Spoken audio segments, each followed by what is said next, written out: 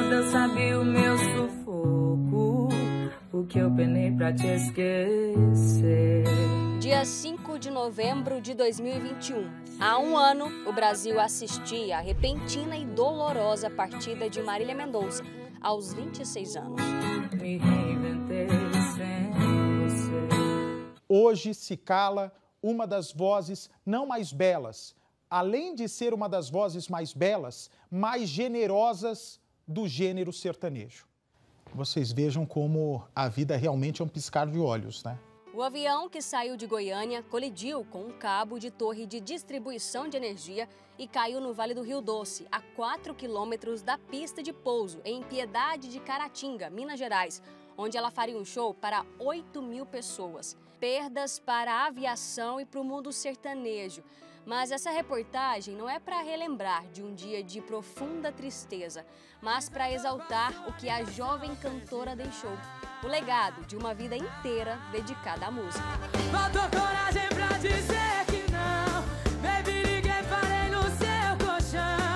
Marília passeou com liberdade por vários gêneros musicais. As influências eram abrangentes, o que a colocou em outro patamar de artista. Marília, ela não ficava limitada ao, ao, ao gênero musical que ela adotou. Marília é, tinha parcerias, e cantava com o pessoal da MPB, com o pessoal do samba, com o pessoal do rap. Ela não tinha preconceitos e ela é, conseguia transitar por esses universos e era, e era respeitada por artistas de todas as esferas musicais do país. Acho que o tempo separados vai fazer bem pra nós dois, é minha opinião. O nome dessa potência feminina no sertanejo também foi eternizado em livro. Bruno começou a escrever um texto após a morte da cantora.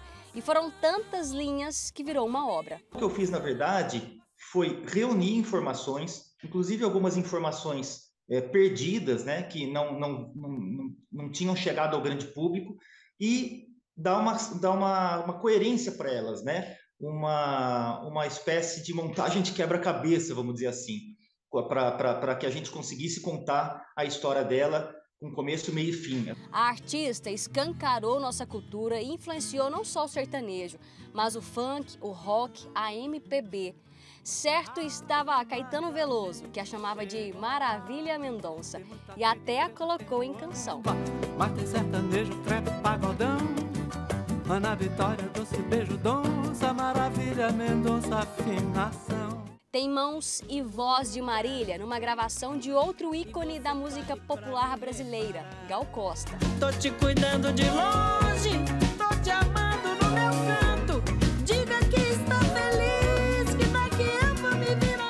Marília era uma artista genuína, que ouvia do rock à tropicália, rapper, Beyoncé. Ouvia e cantava Racionais, por exemplo. Onde estiver, seja lá como for, tenha fé, porque até no lixão nasce flor. Que saudade de um beija-flor. A cantora sertaneja deixou 324 canções registradas no nome dela. 391 com participações de outros compositores.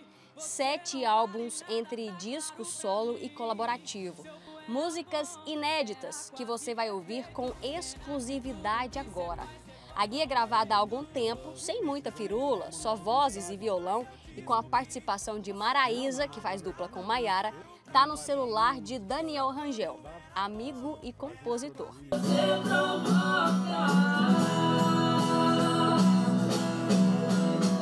Aí frases que a gente ia colocando depois.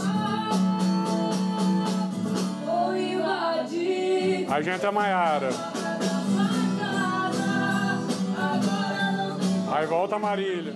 E tem mais uma composição deles, gravada por uma dupla do estúdio de Daniel, para apresentação a outros cantores. É a primeira vez que ele mostra esse material para uma emissora de televisão. Lição de moral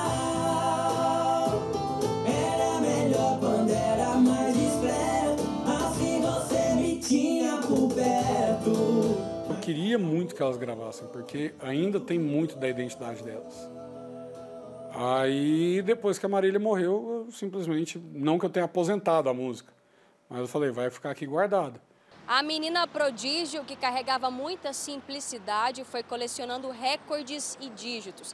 São mais de 10 milhões de ouvintes mensais só em uma plataforma de música. Ela foi a primeira brasileira a alcançar 8 bilhões de streams no Spotify e já ultrapassou 17 bilhões de visualizações no YouTube.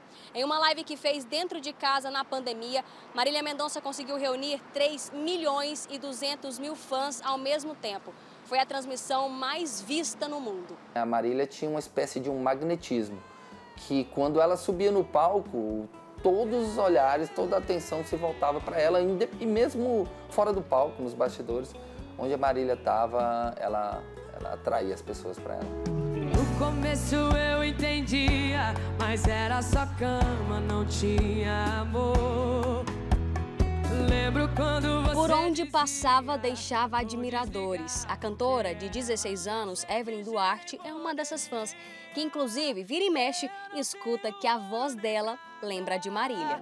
Mas o meu maior tesouro eu te dei. Só quero seu amor e mais nada. Você precisa entender é que eu não sei dizer, só sei que eu te amo é problema nenhum, muito pelo contrário. A minha voz deve ser especial, porque essa mulher tá estourada, tá todo mundo vendo ela. Aí eu comecei a ficar muito feliz, é, conhecer o trabalho dela e as músicas dela também. Sempre me tocava o coração, sempre quando eu ouvia. E aí que me deu vontade de cantar as músicas dela nos shows, o pessoal gostava demais também. A Evelyn já até cantou com o irmão de Marília Mendonça, João Gustavo, que integrava uma dupla sertaneja.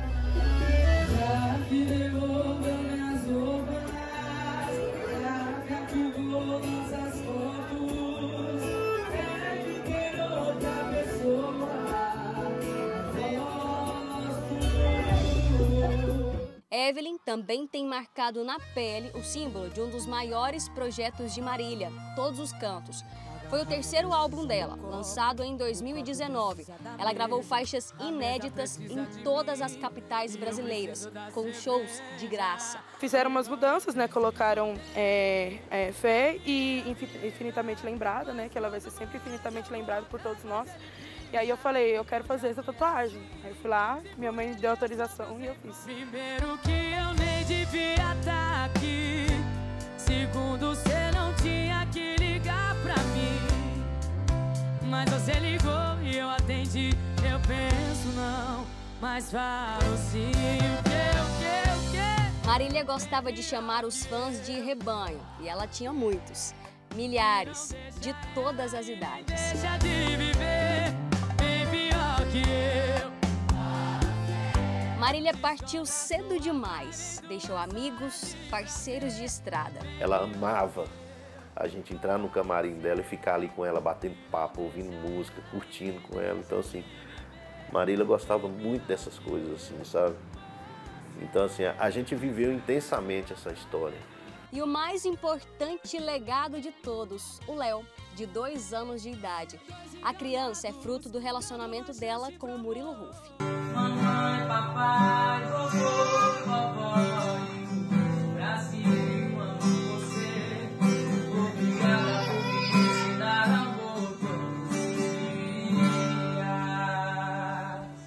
Numa seara musical, Marília mostrou autenticidade.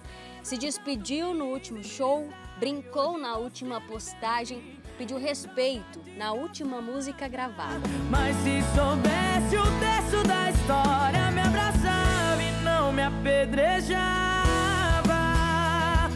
Mas se tem uma coisa que não encerrou com a morte de Marília, foi o amor que ela deixou por onde passou. Dá um sorriso aí pra mim, não fica assim. Quero te ver feliz. Eu sei que o mundo pesado demais. Que seja leve o que vier, fique em paz. Dá um sorriso aí pra mim, não fique assim. Quero te ver feliz. Eu sei que o mundo anda pesado demais. Que seja